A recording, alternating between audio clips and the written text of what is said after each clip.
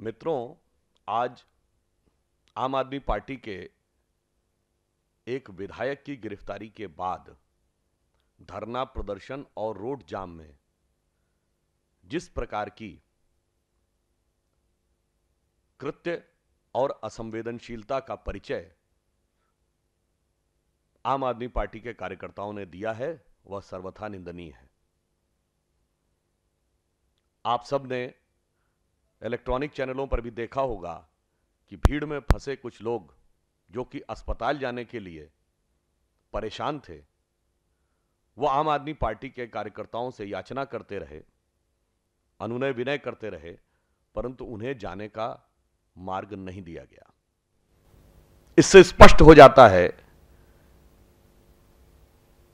कि आम आदमी और जन सामान्य के सरोकारों के स्वयंभू मसीहा होने का दावा करने वाली पार्टी वास्तविक अर्थों में एक आम गरीब मुसीबत में फंसे हुए आदमी के संवेदनाओं के प्रति कितनी सजग और कितनी संवेदनशील है। आम आदमी पार्टी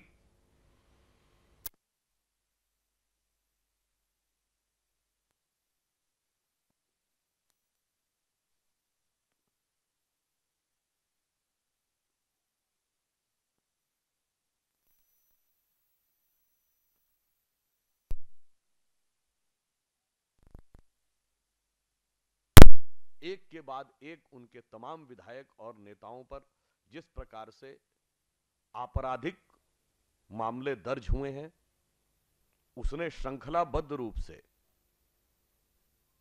उनकी शुचिता की पोल खोल दी है।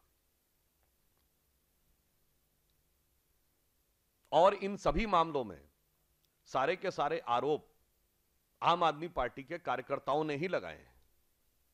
इस विषय में भी, जिसमें वर्तमान विधायक की गिरफ्तारी हुई है, इसमें भी आरोप आम आदमी पार्टी की ही एक कार्यकर्ता ने लगाया है। यहाँ तक कि उनके संयोजक श्री अरविंद केजरीवाल जी के विरुद्ध सारे के सारे आरोप, उनके नेताओं, उनके संस्थापक सदस्यों और पार्टी बनने से पहले ही उनके साथियों ने बहुत सारे लोगों ने लगाए।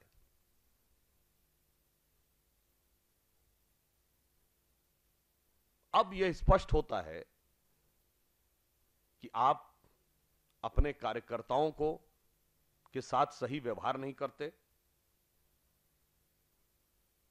नेतृत्व में जो परिपक्वता होनी चाहिए, वो नहीं है।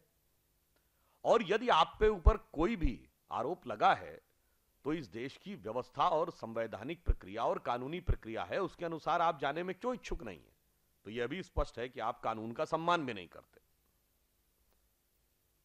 और अब आज जिस प्रकार से आपने जनता के सामान्य गरीब लोगों को जो कि परेशानी में फंसे हुए थे, उनकी परेशानी के ऊपर अपनी राजनीतिक महत्वाकांक्षा और विद्वेष को रखा है, उससे यह भी साफ़ हो गया है कि आप आम जनता से भी कोई सरोकार नहीं रखते।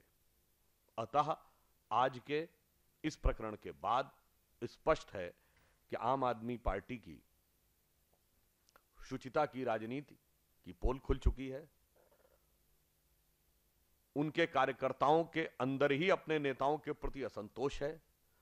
उनका नेतृत्व न दिल्ली प्रदेश का शासन चलाने में सक्षम है, न अपनी पार्टी को चलाने में सक्षम प्रतीत हो रहा है,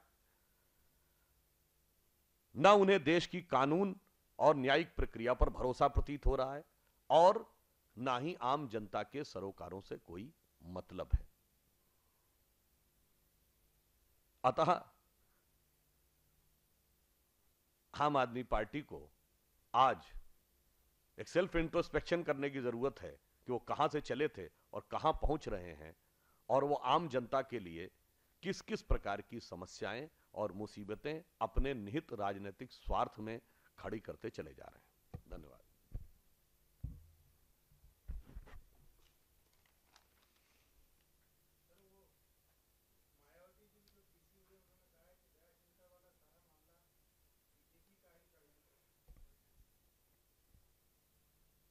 देखिए, बहुजन समाज पार्टी की अध्यक्षा सुश्री मायावती जी ने जो कुछ भी बयान दिया, उसके संदर्भ में मैं कहना चाहूँगा कि हमारी पार्टी के भूतपूर्व प्रदेश अध्यक्ष दयाशंकर सिंह ने जो बयान दिया था, वह तो एक निजी स्तर पर दिया बयान था, जिससे पार्टी ने पूरी तरीके से असहमति व्यक्त की, उसे गलत माना उन्होंने उसके लिए क्षमा याचना भी कर दी, फिर भी पार्टी ने उसे अक्षम्य माना।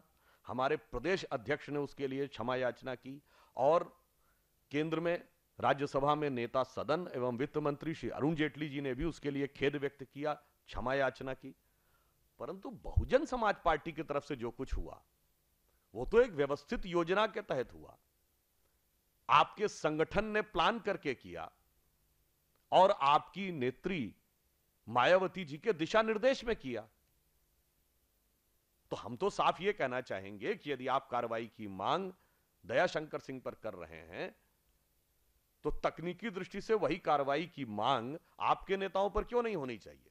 और नैतिक दृष्टि से देखें तो आपका दोष कहीं ज़्यादा बड़ा और गंभीर नज़र आता है, क्योंकि आपका सब कुछ राजनीतिक रूप से सुविचारित, योजनाबद्ध संगठन के द्वारा एक कार्यक्रम को आयोजित करके आपके राष्ट्रीय नेतृत्व के दिशा निर्देश में हुआ। अतः वो एक स्ट्रक्चर्ड पार्टी व्यू है। और हमारे केस में दयाशंकर सिंह की एक गलती है, जिससे पार्टी ने पूरी तरीके से डिसोसिएट किया है। अतः इस मामले पे भारतीय जनता पार्टी और बहुजन समाज पार्टी का पक्ष में ज़मीन आसमान का अंतर है।